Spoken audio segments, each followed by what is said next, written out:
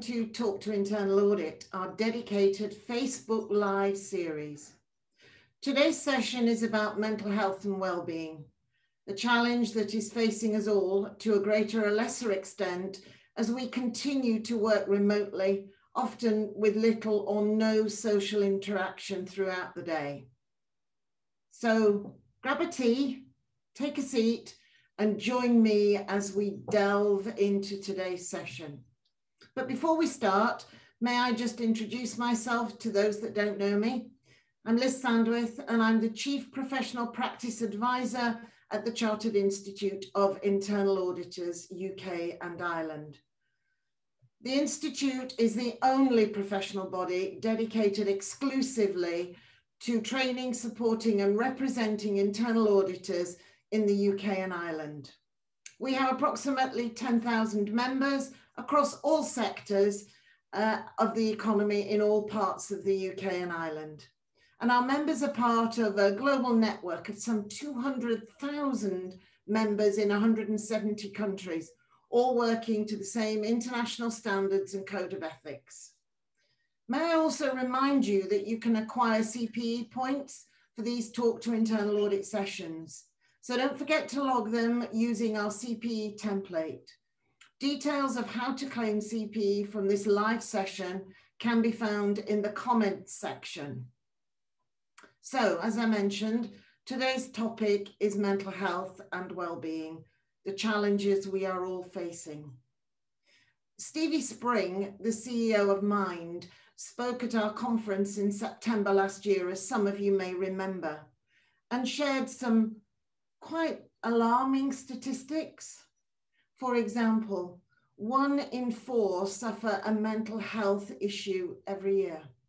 One in 12 suffer a severe and enduring condition. One in 10 children and young people have a diagnosable condition. There are 6,000 plus suicides per year in England, and 3,000 people with long term mental health problems lose their jobs each year.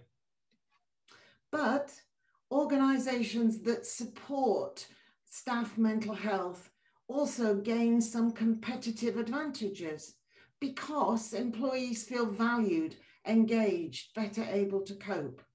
There's improved staff morale, productivity, and loyalty, and improved employee engagement, performance, and hence profitability.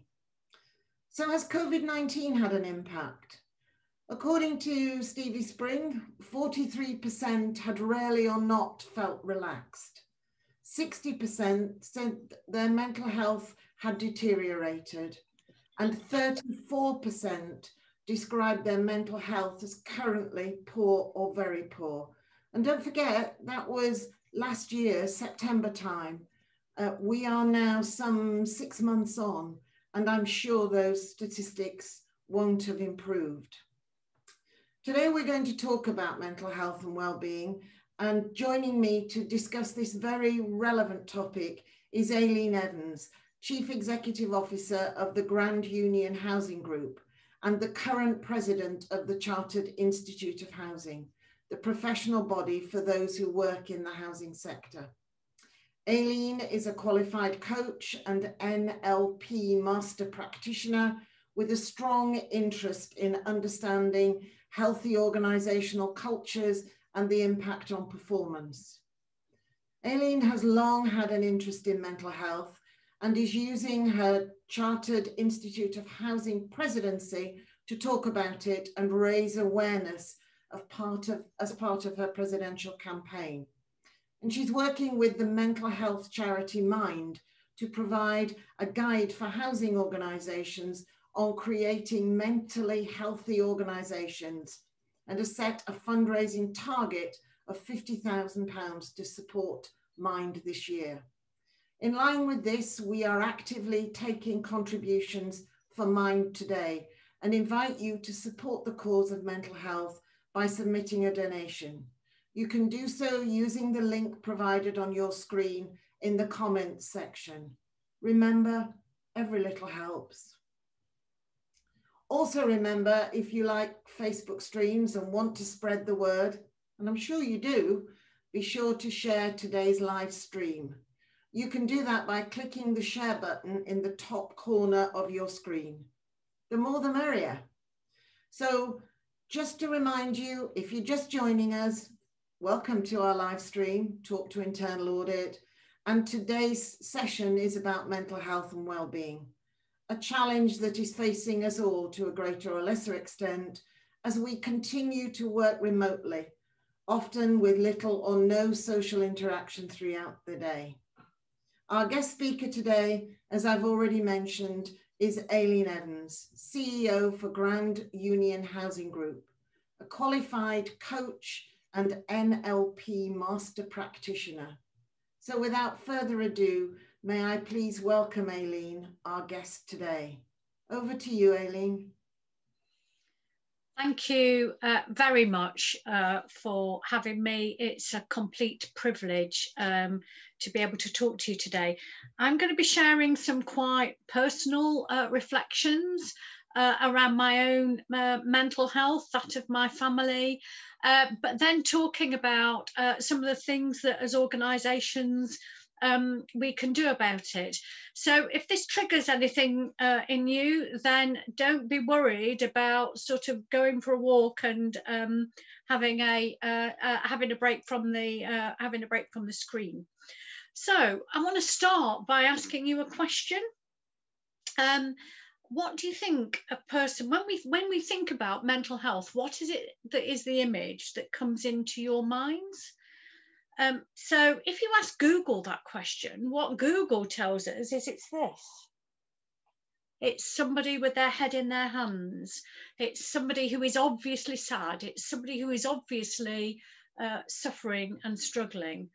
Actually let me tell you that a person who uh, encounters mental health challenge looks like this, looks like me, um, looks like my father, looks like my husband. Uh, and and I think that I think is the the the, the big message really to, to get across is that we don't uh, often know uh, what's going on for people and what it is that is um, that, that is helping them or not helping them and causing them some challenges in their life. So I'm going to tell you a little bit about my um, personal story. Uh, my father, I grew up in a, in a home with a father who was depressed for all of my life. Um, he was medicated latterly, but it was in the years when you didn't talk about how you felt. In fact, I grew up in a home with absolutely no language for feelings at all. Um, so I, I grew up not being able to talk about how I felt um, my dad's best friend, my absolutely wonderful um, and very funny life and soul of the party, Uncle Ivan, took his own life when I was five. My dad really never got over that. Uh, and he didn't talk about my Uncle Ivan um, or how we felt about Uncle Ivan's death. Uh, following that, um, my dad uh, attempted, uh, made an attempt on his own life when I was 15. Uh, but the broader impacts of that uh, on us were that he we never knew what sort of father we were going home to. We didn't know whether or not we were going home to our withdrawn, um, upset, angry, frustrated uh, uh dad or our happy, kind, playful, funny, articulate, uh, helping us with homework dad uh, and that uncertainty bred an anxiety in me that actually it took me years to understand where it came from. Um, that was quite difficult um, to live with. It had a similar impact on my siblings, probably even more so on my sister. Um, so, so mental health uh, of, of individuals has a much broader impact than just those people who are experiencing those challenges. It, it, it impacts on whole families. And so we fast forward a little bit then to my uh, lovely husband, who um, grew up, I guess, in similar circumstances, grew up with a parent uh, who uh, was qu quite clearly uh, unwell for most of his life, but didn't seek any help for it. Uh, had a, um, a, again, not an ability to talk about feelings, not an um, ability to seek help or think about what it was that um, uh, that was troubling them that they can go that they could seek some support with. And so if we um, uh, so we were from similar backgrounds. I think his mental health though i think was was much more fragile than mine for periods of time. Not that we were in any sort of competition about this. Um, and he his his um, the, main part of his uh, anxiety and uh, depression quite severe anxiety and depression centered around work quite a, a lot of the time. Um, and we kind of managed it. We would we would um, you know we would we would acknowledge it ourselves but he didn't sort of seek any support from it until again he got into crisis um, and that crisis uh, was that when my twins who are now 13 were five years old uh, my husband telephoned me from the railway station having cycled there to get the train to work to say Aileen, I don't know whether or not to get on this train or jump in front of it. Um, he had planned his suicide.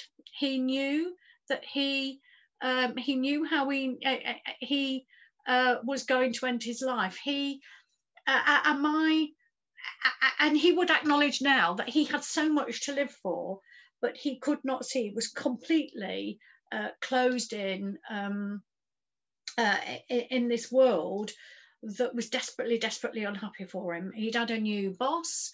Uh, the new boss didn't really understand his role in the business or what he he brought to the business, and he um, uh, Mark wasn't very good at. Um, he's loads better now, but he wasn't very good at saying when he was unhappy about something. So he would just take on stuff and take on stuff and take on stuff until there came a point where he just couldn't cope anymore and he felt he had no release. Um, and so his release was to um, uh, was to jump in front of a train, um, or he felt that that was what it, it was. Um, so my response to that was, well, um, so you you do some really really kind of odd things in those circumstances. I said to him, so so where's your bike? And he said, it's in the bike store. I said, well, go and get your bike and I'll come and fetch you. He said, we won't fit it into the car. I said, we'll manage. We'll fit the bike in the car. So I went and fetched him. We got his bike in the car, brought him home. He's not worked uh, in an organisation since then because actually he's been, uh, he, he was too ill. Uh, we subsequently made decisions about our lives that um, have enabled him uh, not to work. And I know we've been really very lucky to be able to do that. So he, um, he had a great GP, a really, really good GP. Uh, we had some private medical insurance through his work. Uh, and we're, uh, we were able to see an extremely good psychologist. And we were lucky enough to be able to afford the counselling he needed, the counselling and the talking therapy he needed for about two years um, after that point. So if we think about then uh, so if we move on and it feels quite selfish moving on to the impact on me but what i've learned is if i, I want to be there for other people then i absolutely need to take care um, of myself and i hadn't quite got that when mark was first ill um, but we uh, I, I, felt I was trying to hold it all together. I'd got five year old twins. I was managing director of a housing association with a 40 million pound turnover. Uh, I had a responsible uh, job and I had a husband who then rather like my dad, although slightly different, I didn't know what it was going to be like when I got home, or even if he was going to be there when I got home. Um, and so we were, we were, we lived like that actually for um, for about a year until he started to kind of come out of of this. Uh, he would call it a tunnel um, that he was in. It was a very dark um, time for him. Um, and so I had a great boss, a really, really lovely boss. Uh, and uh, eventually, when I told him, I felt very shameful about it that this was happening to me um, because I felt I should be able to cope. Well, you know, think about it a suicidal husband, the child of a suicidal father, five-year-old t- twins, a responsible job. Do you know what? It's not. It's not surprising that people don't cope in those circumstances, um, and so I sought some uh, support. Um, seeking that support actually was uh, uh, was a lifesaver. It was a lifesaver actually for all of us. It enabled me to keep well and cope. It enabled, uh, and it gave me that time where I could absolutely focus on myself and talk about me and how I was feeling. I didn't have to take it home. I didn't have to uh, uh, take it into work, although I could have done if I'd have wanted to.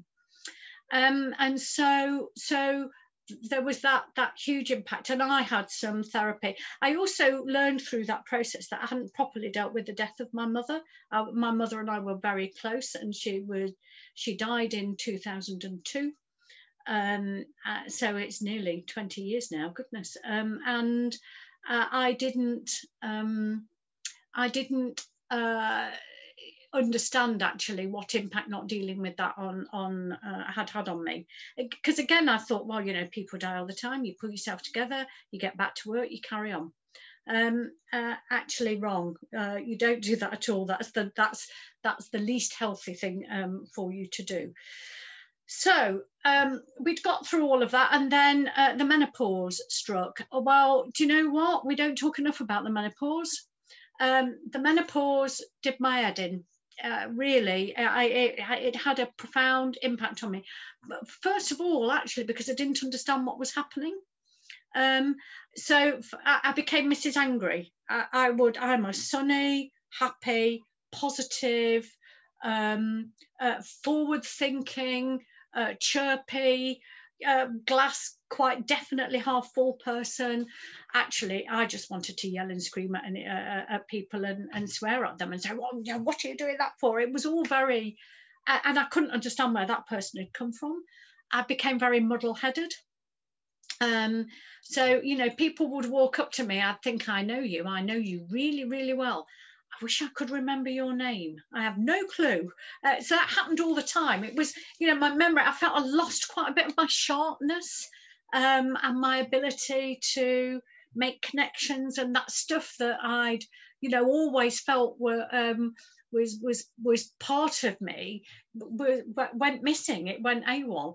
But the big impact it had on me was around um, confidence. Um, couldn't get behind the wheel of a car uh, to drive the five miles to work. Now, I had happily bung my kids in the back of a car and, and, driven down to France, not, you know, not not at all worried but I became really very nervous about driving um, anywhere. And so, um, uh, so I you know, didn't drive long distances. I didn't want to drive at night. I, and it was because I didn't, again, understand where it had come from. Um, uh, uh I went to the doctor and uh, explained this, and he said, "Let me just give you a blood test because this might be the menopause." And it was the indeed the um, the perimenopause. Um, and if we think, so you alluded to uh, suicides earlier, um, Liz. Actually, if we think the largest number of women who commit suicide do so in that perimenopause period, um, that is uh, and I can understand that because actually that's really confusing. So what what would it be like if as organisations we talked about that? We talked about this being normal. We talked about these odd, peculiar feelings that you were having um, uh, being uh, being normal. Do you know what people women would not feel alone? So I often say that 52% of us uh, will um, physically experience the symptoms of menopause. Actually, it will impact upon 100% of us in some way.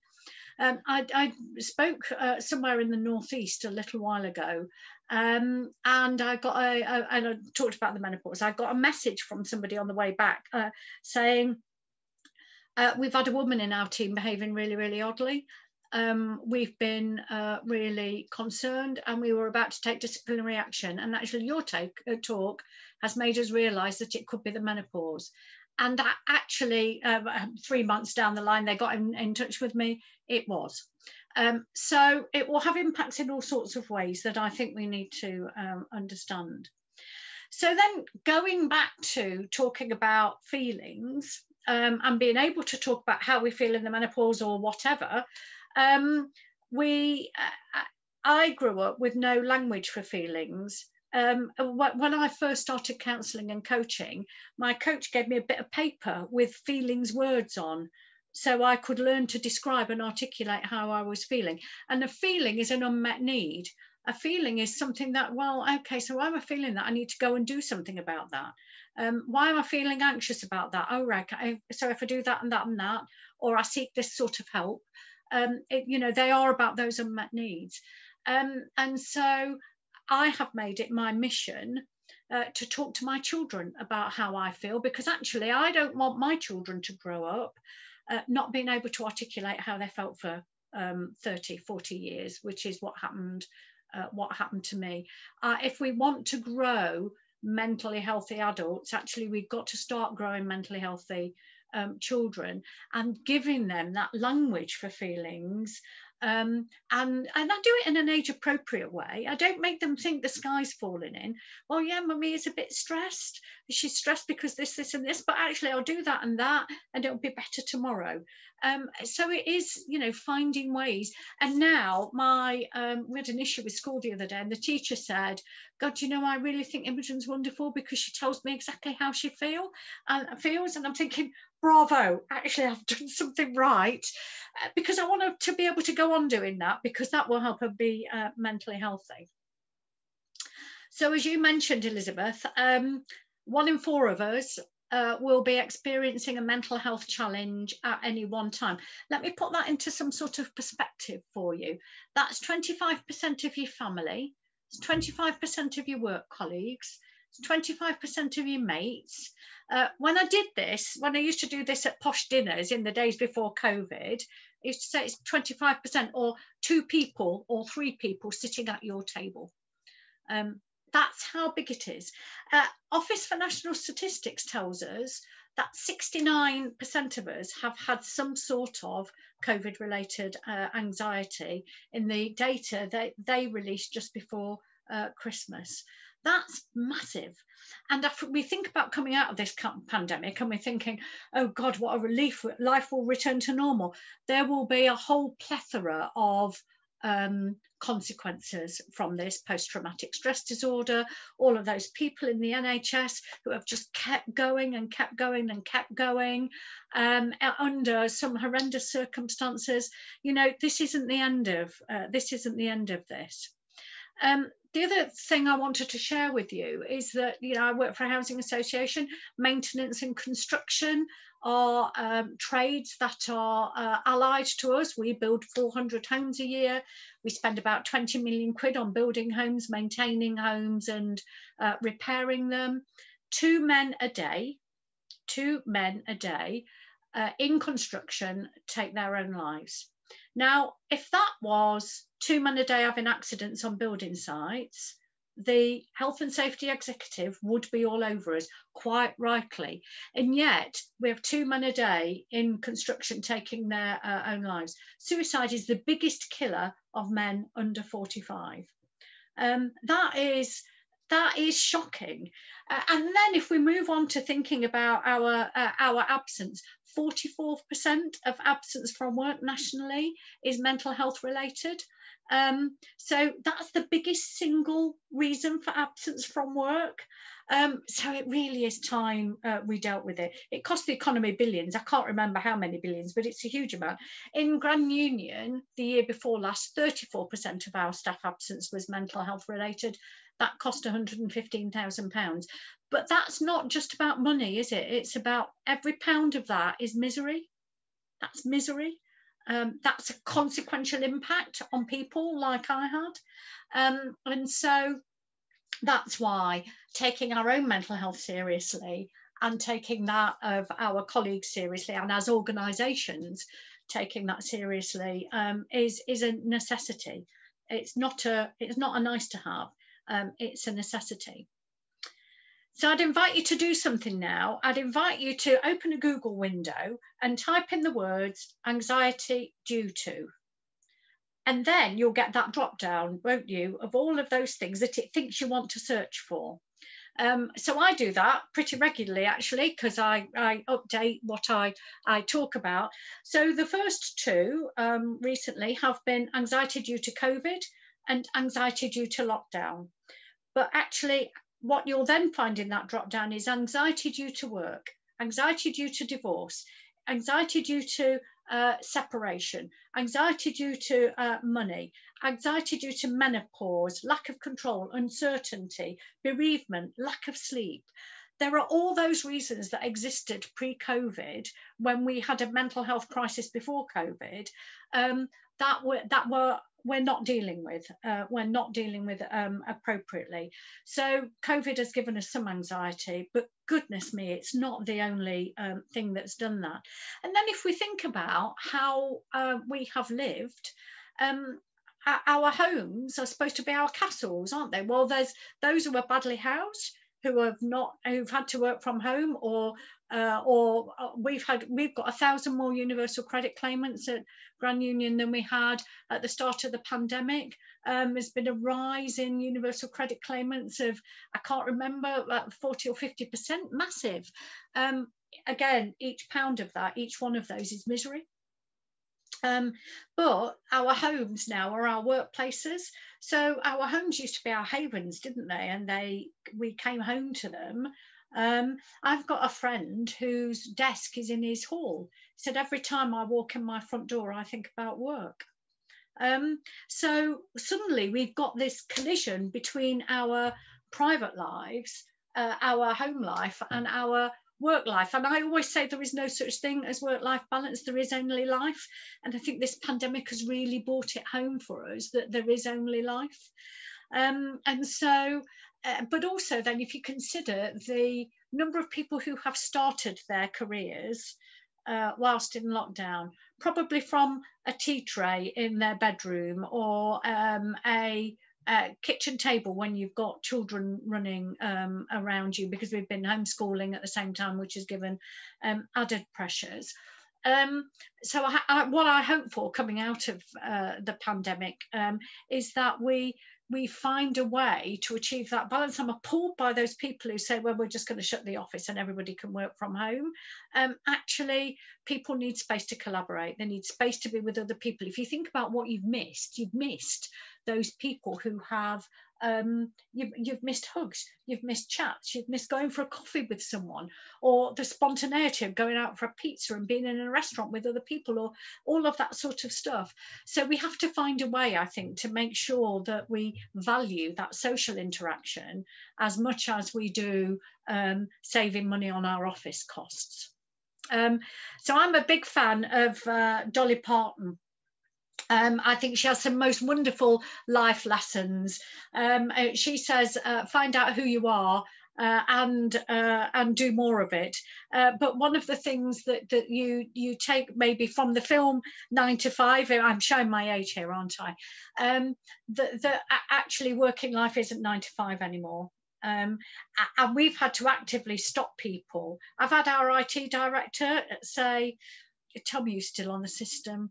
You know and if they're we've had to stop people working um, because they're because work is now at home there is that stuff then that says you should be doing that all the time or you're thinking about it all the time. So achieving proper balance in our lives not a work life balance but balance um, across our lives uh, I think is a is a uh, fundamentally important um, thing for us because you can't pour from an empty cup. It is not possible to pour from an empty cup. So I'm going to talk about some of the things that we've been doing in the Chartered Institute of Housing um, that, that aren't actually about housing. They're about people and they're about wellness. Um, because I, I'm a great, uh, I, one of the big things I learned when I did my MBA was if you see good practice, pinch it. So I think we've done some good practice stuff. So I'm going to give it to you to pinch. Uh, so it's on the Chartered Institute of Housing website on the Shine a Light page. It's also on the uh, on the Grand Union's website and it's on Mind's website. So I'm going to talk um, a little bit about uh, those uh, those uh, pieces of work that we've done and what some of the findings have, have been coming out of that. Because I think that what mental health needs um, is more sunlight, you know, more days like today where we are talking about it uh, openly, more candor and more unashamed conversation really um, more more uh, I you know I don't want anybody to feel the way I felt when Mark was first ill and I thought well I should be able to cope with all of this you know, it's shameful not being able to cope with all. I'm a coper. Um, you know, pull yourself together, Aileen. Actually, you don't need to feel ashamed about that because one in four of us are experiencing it uh, at any one time. Uh, and I think the bravest thing I ever did was to ask for help. Um, and the bravest thing that that you will do if if you're in this situation is to ask for help too but my goodness it it has helped me um, be able to do this and be able to talk about some quite difficult stuff um, because I recognize I think if I'd have heard somebody like me or Rob Stephenson who runs um, uh, an organisation called Outside, Inside Out who lives with bipolar. I heard him speak about his um, uh, his challenges and i thought well actually if he can do it i can do it but it made it it made it all right. So you make it all right not just for yourself but you make it all right for other people. So i think as employers uh, and as people we have a responsibility to understand that mental health is our um, is our business. And in the CIH, we've done um, three pieces of work which I say are eminently pinchable uh, and equally applicable to uh, in, internal audit. We work with uh, Mind to produce a commitment guide. Uh, that commitment guide uh, it was for the housing sector, uh, and we are. Uh, I was I was quite determined at the end of my presidency that I would leave a legacy. You know, it's a great privilege to be elected by your peers to do this, um, and it's a great privilege to be able to talk about things that you're passionate about, that you care about, uh, for a whole year or actually a year and a bit um, uh, and raise some money for your causes. Um, and so that deserves that I do something in return, I think. And um, so we worked with Mind to develop this commitment guide. There are other commitment guides out there. There's one for sport. Uh, and there is one, there's a toolkit called Building Better, Better Mental Health for the Construction Industry. Um, but the, uh, we developed the Mental uh, Health at Work Commitment Guide, and it contains six fairly um, standard and not difficult principles. First of all, it's about opening up and having a conversation where you can create a climate in which you can implement the principles. But, but then after you've done that, none of this stuff need be difficult or expensive. Um, so it, the commitment guide invites employers to sign up to six commitments. Uh, one about prioritizing mental health. So we talk about diversity, we talk about belonging, we talk about mental health, we talk about um, a whole range of really important issues, but fundamentally, um, uh, creating a mental health, uh, a mentally healthy culture is part of who we are at Grand Union. It's part of our DNA. Um, so it's a clear priority from the top down. One of our uh, board members is a mental health first aider. Another blogged on our intranet uh, hugely bravely about the day he had a breakdown and couldn't go back to work. Um, so we openly um, we openly talk uh, about that, and that has some um, uh, very moving and humbling manifestations, but it also has a massive impact. And I know that actually if people are feeling unhappy um, and uh, and are struggling with something, I know that they know that there are places, there are a number of places that they can go uh, within Grand Union or outside of it, actually, that we will support uh, in order to get uh, in order to get help. Um, we've also uh, designed our work culture. So our, our second commitment is about designing our work and culture to drive positive mental health. We don't expect a long hours uh, culture, which is why I'll say to the IT director, kick them out if they're still on the system. I don't want them doing that that's not we don't expect that at grand union. You know i don't i've you know worked previously in an organization where i get an email from the chief exec at six o'clock in the morning and wonder why he haven't had a reply at half past. Um, you know we, we we don't expect that. Um, but also i think coming out of the pandemic and all this wonderful technology we've learned to use in double quick time there are some wonderful wonderful opportunities in that to help us drive um, that uh, work and culture. So if you think about, we did some analysis and some of the lowest paid jobs in our organisation uh, and we're not a particularly low pay employer, but but some of the lowest paid jobs were also the, sometimes the most boring. So scanning deed packets uh, when we built new properties so that we could get them into charge uh, is one. Scanning gas and electricity, uh, electrical test certificates uh, is another job. Actually, we use robotic process um, automation to do that now. So we have a robot do that. The robot spits out the gas certificate that says you need to go and look at this one because all these fields aren't aren't right. But but but generally they're scanned by a robot. Um, uh, uh, so we had a deep cynicism about uh, robotics and uh, artificial intelligence at Grand Union until people saw the scanning deed packets and scanning, and, and people said, "So can I have that bit next? You know, can you come and do my bit next? Because I've got this that can be scanned, or we've got a robot we can."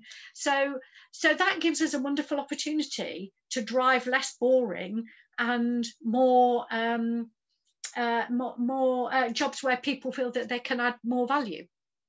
Um, uh, that's not to say that those who did scan deed packets or, or uh, uh, certificates in our organisation were valued any less. Of course they weren't. They were doing an absolutely essential job. But goodness me, you know, we, we could have found them more interesting things to do, and we have now. Um, promoting a, an open culture around mental health. Um, I, I talk about the in the way I'm talking to you now. I talk about my mental health and mental health uh, in a range of ways at Grand Union. And I've been doing it around the country in housing organisations uh, and uh, and for other and construction, some construction companies, because I want to start a conversation. And sometimes it's easier to ask somebody like me from outside to come and start your conversation, because then that prompts the conversation in, in your organisation. So promoting um, promoting that open culture. So I'll, I'll use uh, something called Form Score. Uh, I'll send the link so that you can include it in the comments. Uh, it's a series of 10 questions that you can ask yourself or you can mark yourself out of 10 uh, for each of them. It's how am I worried about finances? Have, have I slept well? Have I exercised? Uh, have I, uh, how connected do I feel, motivation? So you measure each of those out of 10, you get yourself a score out of 10. I share that I share that either in a video or on a blog. And invariably, what I get is people piling in saying, Well, I'm nine out of 10, I'm Mrs. Positive today. Or one, one day we had, it's I'm a two out of 10, I need help. Um, so there, the, and actually, we did help that that person. That person was working in a frontline job uh, with people who were in crisis when she was in crisis herself. Uh, so we moved her to another job. We moved her to another job for six months. We paid for some counselling. We gave her some support. She got herself well. Um, and she's now back doing what she loves, having having sorted through her issues. But it was the I'm a two out of ten. I need help. Um, so if I make myself vulnerable by telling people how I feel, other people will feel safe in doing that. Um, so our fourth commitment is around increasing organisational confidence and capability, uh, talking about it, people knowing where to go, knowing that they can talk about it, knowing that if they do talk about it, there'll be help and support and not other um, uh, undesirable consequences is a is a um, uh, is something I think that that people value.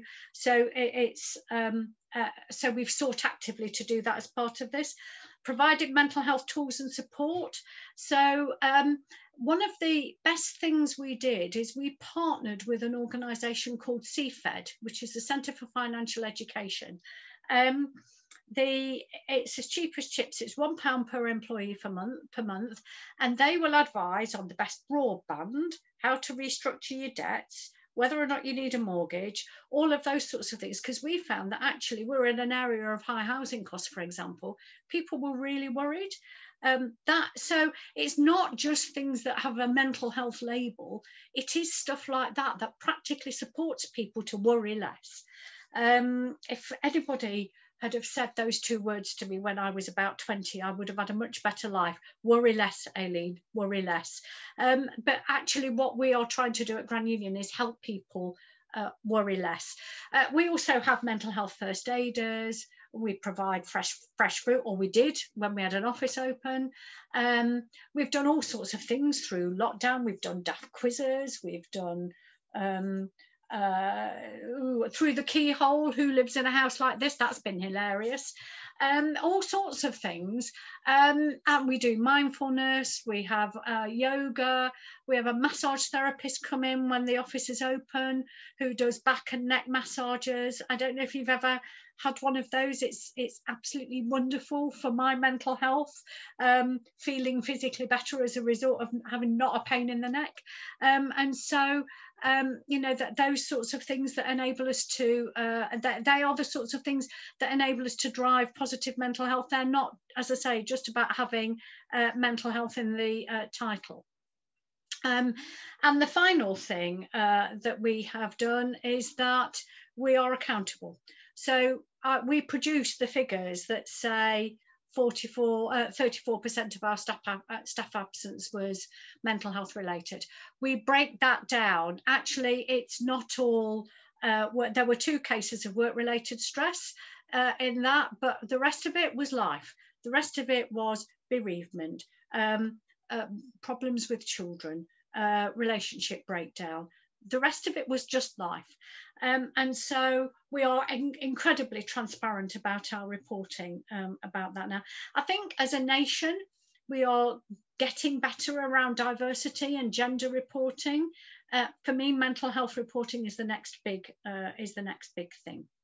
So that's that guide. Sorry, I went on about that, but actually, I think it's a really important guide and it's dead simple. So nick it, adapt it for your organisations and do it because it's brilliant. They, they never want to waste a good pandemic. Our second piece of work, um, uh, we did a survey. So the incoming president of the Chartered Institute of Housing is a woman called Professor Jo Richardson um, who, who, as her name would suggest, is an academic. And at De Montfort University, they did a study uh, for us. We surveyed, um, through the COVID crisis, we surveyed uh, young people working in housing, um, a particular cohort of young people called uh, from something called the GEM program, which is a, a talent uh, a, young talent program that we run in housing. Um, we surveyed chief executives, we, we surveyed frontline staff and chief execs of um, homeless charities. Uh, we found some really surprising stuff. That was a proper academic study. So the main thing goes to about 44 pages. The exec summary is a lot shorter and a bit more readable, um, but that has some stark stuff in it. So for example, for young people, many respondents uh, said that there was no clear career path for them, and that was actually causing them some anxiety. We didn't actually expect that to come out, and that's been some real big learning for us at the CIH about how we can help create that career path. Um, so I, I, would echo with the, this next statement. Um, uh, housing chief execs um, felt a deep sense of responsibility for their staff, but at the same time, we have personal caring responsibilities and concerns. And so i mean i i don't feel i got up from my computer between june and may last year. I was uh, not june uh, january and may last year. I was knackered completely exhausted. My kids were being homeschooled. We'd invaded my husband's space because he's used to sort of doing lots of diy and uh, music and and uh, uh, other bits and pieces um, and I, you know, I was working in this environment that I had to get used to quite quickly, where I was divorced from the people that I would bounce off. We found other ways to bounce, but so um, so there was a so I, I, I was worried. I, I was uh, I was worried about how it would all pan out. I was worried about the team. Um, and I knew there was some worry in, in amongst the team for themselves about how they were doing. In particular, people who lived alone, I was very, um, we were very concerned about. Um, there was the other thing we found there, there was a disconnect between frontline staff and chief execs. Um, so frontline frontline workers wanted more support and recognition and gratitude, um, and chief execs thought that that was what they were doing. So we changed our question. We changed our question at um, Grand Union. Rather than say, we are giving you all the support and listing it, we said, how is it you would like us to support you? What is it you would like us to do? Um, we made a point of doing more drop-ins and saying thank you. Um, to individuals. We have this scheme called Bonusly and uh, on our intranet where you can give shout outs to people. Exec uh, and leadership team were much more visible on that. So they were doing that much more, uh, much more publicly. So that's that bit of, um, uh, that's that bit of uh, work. Um, and then the third bit of work was, I, I can remember sitting in our housing team a few years ago now, and somebody said to me, has anybody got the hoarding spreadsheet open?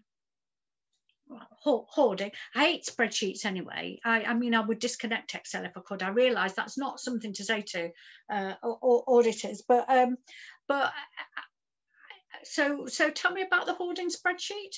We were dealing with 40 cases of hoarding. Hoarding is symptomatic of really poor mental health, and in the context of this post Grenfell world, hoarding is really, really dangerous. Um, and so landlords have been evicting people that have been hoarding uh, where they've been doing it in tower blocks because they can't afford to take the risk that if there's a fire um, in in that block, the the the um, contents to, uh, contents of a hoarded flat will accelerate um, the the uh, transmission of the fire, um, and so. But hoarding is symptomatic of poor mental health. So there was that, and there was thinking, all right, okay, so there'll be there'll be instances where the poor mental health of our tenants and customers will impact on the poor mental will, will have an impact on on poor mental health or causing mental health challenges for our staff. Um, and and in the context i think of the rowing back of the state and it's been more difficult to access certainly community mental health services um, we uh, it, it, has been uh, I, I wanted to put something very simple in place that would help people think about how they could communicate whilst not being mental health workers, whilst being housing professionals, how they could communicate uh, in ways that would help interaction with their tenants rather than antagonize it. And, and there's some coaching principles in that guide about, about how we write, um, how we speak, uh, uh, uh but only really very simple. So I had to accept that we're not uh, that we're not housing um, that, that we're not mental health professionals, and I'm not trying to turn us into mental health professionals. Um, and so I'm just going to um, finish up now with a, a, a few things that um, around spotting the signs for yourself and others, and also tell you about some things that I do to keep well. You will find your own things to help keep you well. There is that the Dolly Parton, you know, find out who you are and do more of it. But it's find out what you love and and do more of that. I think um, is a is a very useful um, principle to have. But you know, we've all had mates, haven't we, where they've or, or we've been in situations where you think, do you know what, they're a bit agitated and restless. What's what's going on there? Or not wanting to talk. The people who don't want to turn the cameras on. Is there an issue behind that? Feeling tearful. I know when I get really tired and throughout my, the early part of the menopause when I couldn't sleep properly, and I'm not a great sleeper now, God, I would get really, really weepy. I would just want to cry all the time, and that wasn't. So I was either Mrs. Angry or I was in tears. Um, uh, so, uh, uh, and there, there are those people. So Flagship, for example, run a a uh, men's mental health group, and they have quite a lot of focus on alcohol. So turning to alcohol um, or drugs to cope with feelings. Now, you won't always know about that, but you can notice that there's a change in somebody. Um, not replying to messages uh, or being a bit distant, it can be a sign. Uh, not wanting to do the things that you usually enjoy. Um, I found new things to enjoy through lockdown that I will be taking with me. My daily exercise, I would nobody would ever have um, nobody would ever have associated the words daily and exercise with me, but actually it's helped keep me really mentally healthy and I'm going to carry on doing it. Um, feeling it hard to cope with everyday stuff, I think is is something that we've all had from time to time. Um, and if there's an inability to concentrate linked to that kind of jumpiness uh, and that you can observe in people or yourself, then you know it's time to ask yourself why that might be. Um, we've had a couple of people who uh, have really been unable to complete stuff, who were very good previously, uh, and and actually they've lived alone. they've struggled to be motivated. One of our team uh, said, and when I respond, I, I put my form score up, and somebody said, I've had a, I, I felt really bad last week because I didn't want to go to bed because I didn't want to get up in the morning. Um, and so, you know, being able to um, te- have that person say that and tease that out enables us to work to do something to support uh, her with that. Um, but but if people are forming any new patterns that that you know are, aren't uh, if they're doing things that that that aren't aren't familiar uh, and behaving out of character, that can sometimes be a symptom. So look for those in yourselves, but also look for them in other people. We have this hashtag at um, Grand Union called Ask Twice. Um, so how are you? And how are you really? Um, so how are you? Mm, are you sure you're all right? Because I'm noticing that you probably you're not quite as all right as you could be.